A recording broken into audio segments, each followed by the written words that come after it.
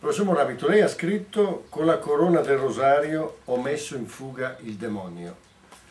Un titolo fondamentale, un titolo importantissimo che valorizza il rosario. Come mai, come mai ha scritto questo, questo libro?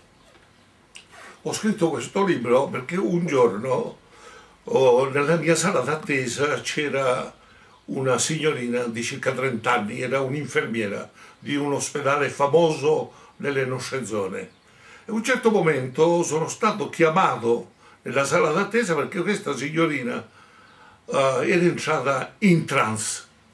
In teologia si studia che il demonio è lì dove si manifesta. Entrando là dentro e vedendo che non si svegliava in nessun modo, come tutti i cattolici, iniziai a pregare.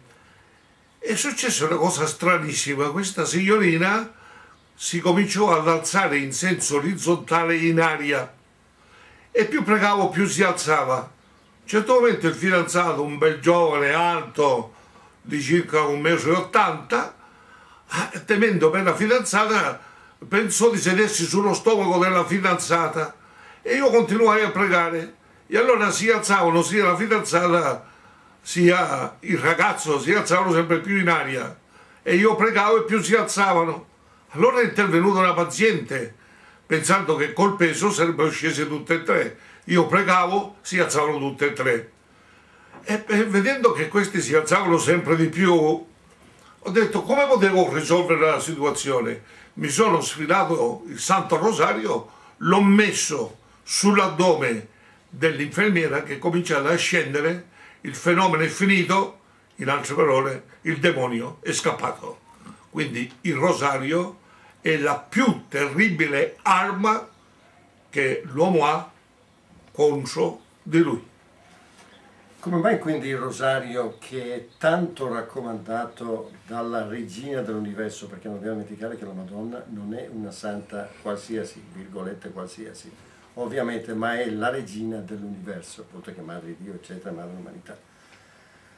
L'ha raccomandato in tantissime apparizioni, quindi da Lourdes, Fatima, Meggiugorie, eccetera. Il demonio stesso lo ha confermato, ma come mai è così osteggiato, soprattutto vorrei dire in campo cattolico? Perché io difficilmente vedo ad esempio dei preti o dei cardinali o dei vescovi con il rosario in mano, anche a modo esempio per i fedeli.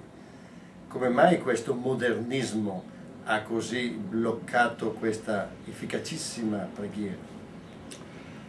Eh, siccome ho l'abitudine di mettere il dito nella piaga, il fatto che certi cattolici quasi si vergognano di tenere il rosario o recitarlo, per me è un'azione direttissima del diavolo su di loro, perché il rosario è una preghiera profondissima, cioè noi col rosario non solo meditiamo, ma anche contempliamo.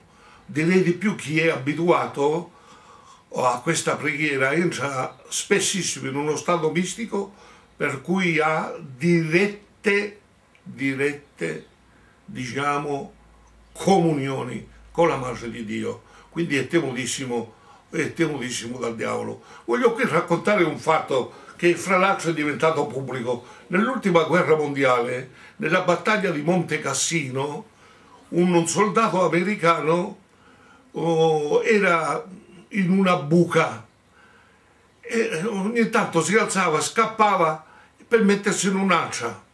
Arrivava una bomba e morivano tutti i compagni che c'erano nella buca precedente. Successo 4-5 volte. Allora a un certo momento l'ufficiale gli disse ma come mai? Che cosa ti succede? In ogni buca dove sei stato i tuoi amici sono tutti morti e tu un momento prima sei scappato via.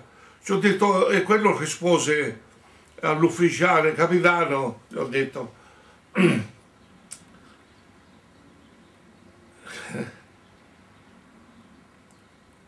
eh, sono commosso. Capitano mi disse, mia nonna prima di partire dagli Stati Uniti mi diede un rosario e io lo porto addosso. Sarà appunto la presenza della Madonna che mi salva la vita. Beh, questo sappiamo chiaramente a conferma della, di questa testimonianza che è una delle tante testimonianze che si possono raccontare eh, in riferimento al rosario. Sappiamo l'odio viscerale che il demonio ha nei confronti del rosario. Chi ha frequentato o partecipato ad esorcismi sa quale odio, quale avversione il demonio manifesta nei confronti proprio della corona del rosario quando vede che si legge la corona del rosario cerca di prenderla, cerca di spezzarla, proprio manifesta un odio satanico nei confronti di questa corona che lui stesso, Lucifero, ero presente io in questo esorcismo, disse che era più potente del bastone di Mosè. Cosa pensa di questo? Sì, sì, io penso questo. Ripeto quello che ho detto anzitempo. Se io mi presento sempre in un ambiente con lo stesso amico e a un certo momento l'amico si presenta in quell'ambiente e io non ci sono, lui rappresenta anche la mia persona la Madonna, siccome compare sempre con la, con la corona del rosario, ora certo la Madonna non dirà il rosario, ma si presenta col rosario. La Madonna non ha bisogno di dire il rosario, però si presenta col rosario. Presentandosi col rosario vuole dire a ognuno di noi che quando uno porta il rosario porta Maria con sé, la sua presenza, la sua presenza mistica, la sua presenza operativa Ecco perché il demonio teme il rosario. Infatti molte volte se io metto il rosario nel collo di un indemoniato, l'indemoniato lotta per, far, per non farselo mettere, non resiste il rosario, non resiste, se no se uno riesce a mettergli al collo si sente la paziente liberata, dice oh è scappato. Logico, il rosario ha un'azione potentissima contro il diavolo. Voglio aggiungere anche però un segreto. Molte volte eh, il cattolico porta il rosario come una cosa qualsiasi, invece deve pigliare un'abitudine. Ogni volta che piglia il rosario, per esempio, faccio un esempio, piglio questo rosario, io prima di dire il rosario io lo benedico dicendo nel nome del Padre, del Figlio, dello Spirito Santo e chiamo lo Spirito Santo che mi invia la presenza della Madonna. Allora questo rosario ho notato che diventa di una potenza strabiliante. Ho, ho detto ad alcuni miei pazienti indemoniati di fare così. Hanno visto delle liberazioni veramente indescrivibili. Ecco, allora io dico a tutti, prima di pregare il rosario, benedite il vostro rosario, chiamate lo Santo che mandi la presenza della Madonna, vedete quello che succede. Tant'è che proprio Lucifero, in un esorcismo in cui io ero presente, disse che il, il, rosario, la preghiera del rosario intero, quindi misteri gaudiosi, gloriosi, no. eh, dolorosi e gloriosi, e ovviamente più uno recita meglio ancora perché è, questa è una cura, una terapia che non fa male, non dà, ma fa soltanto bene, è più potente di un esorcismo della Chiesa, perché la preghiera ovviamente è sempre potente e quindi tante persone possedute che hanno infestazioni che devono cercare a destra manca l'esorcista che non trovano perché non ci sono, se pregano le tre colonne del rosario, ogni volta che lo fanno ovviamente con il cuore è come eh, se eh, fosse il loro stato, eh, fosse stato sistemato su di loro un, un esorcismo, anzi più di un esorcismo, quindi più pregano e più ricevono chiaramente potere liberatorio, lo stesso Lucifero lo ha manifestato. Una persona ha definito la legge del rosario come un'armonia del cuore, un'altra considera il rosario come un cordone ombelicale spirituale con Maria. Cosa ne pensa? Io penso che hanno ragione. Io dico questo, che il rosario è guardare, guardare e amare col cuore di Maria. Cioè, quando uno dice il rosario, per esempio, e comincia a contemplare, per esempio, i mestieri dolorosi, per esempio, uno comincia a pregare che so, Cristo che, che prega nell'orto degli ulivi. Uno non deve pensare che sta ricordando Cristo, deve pensare che la Madonna attraverso di lui sta vedendo suo figlio che sta pregando in quel momento e così per tutti i vari misteri dolorosi, gaudiosi, gloriosi della luce. Allora ecco che il rosario diventa veramente una immedesimarsi in Maria e la Madonna praticamente fa sì che, una, che un soggetto acquisisca una forza, direi, divina, perché com'è che tu guardi e ami col cuore di Maria i misteri di suo figlio, così tu potrai diventare come Maria per grazia della preghiera che lei le ha insegnato.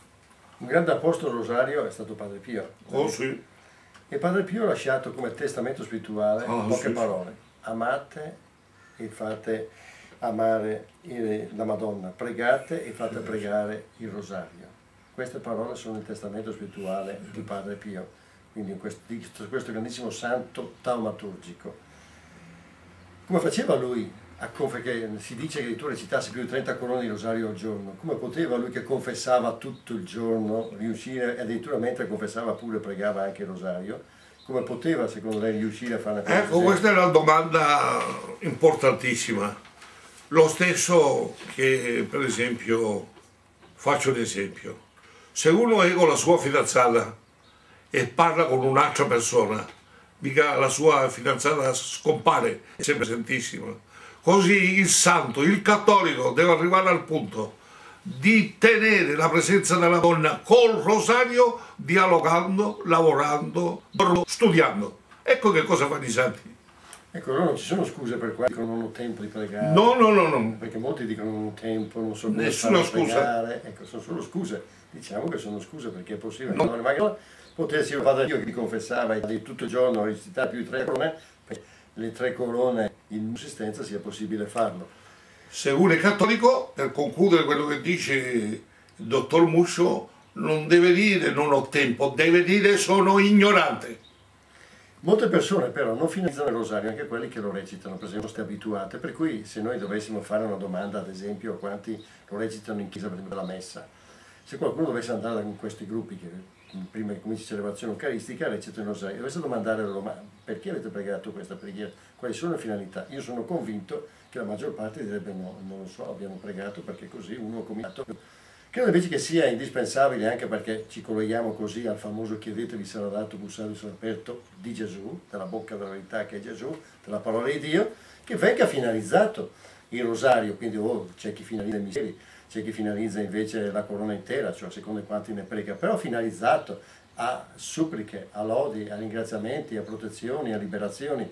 Secondo me è necessario acquisire l'abitudine a finalizzare la preghiera, anche perché ci sono correnti, gruppi di preghiera che per esempio la preghiera soltanto questo che non parlano dai salmi, eccetera, che la preghiera di lode, di supplica, di ringraziamento. Quindi non è solo di supplica, solo di ringraziamento, ma è eh, molteplice. Quindi pregare solo, come qualcuno insinua, per la lode o solo per la supplica è errato. Gesù ci ha detto chiedete vi sarà dato, bussate vi sarà aperto. Quando noi riusciremo a concretizzare queste parole, riusciremo anche a dare potenza ulteriore al rosario in maniera che diventi veramente quella preghiera che, da, in forza della quale eh, dal, dal cuore di Maria e dal Sacro Cuore di Gesù scaturiscono quelle grazie che ci sono necessarie per la vita personale, familiare, sociale. Io almeno non so se lei è d'accordo. Sì. Io sono d'accordissimo con il dottor Muscio. Faccio un esempio. Ultimamente mi hanno detto che molto lontano da Bergamo c'è un mio amico in gravissime condizioni di salute infinita. Bene, io quando cresci di rosario, ogni Maria che dico, ogni Maria, non ogni rosario che dico, ogni Ave Maria lo raccomando alla Madonna che lo salvi, che lo tenga fra di noi. Allora, se uno dice che la preghiera è solo di lode, è mal informato. Il cattolico sa che abbiamo preghiere di lode, preghiere di penitenza, ma abbiamo anche preghiere di petizione. Quindi la petizione è buona dalla Madonna, quando diceva Bach, queste sono le grazie che non mi chiedono, io non posso fare. Allora se uno capisce la Madonna stessa, che vuole che uno li chieda perché uno fa le grazie. Quindi se uno non le chiede è proprio, proprio da, da, da visitare psichiatricamente.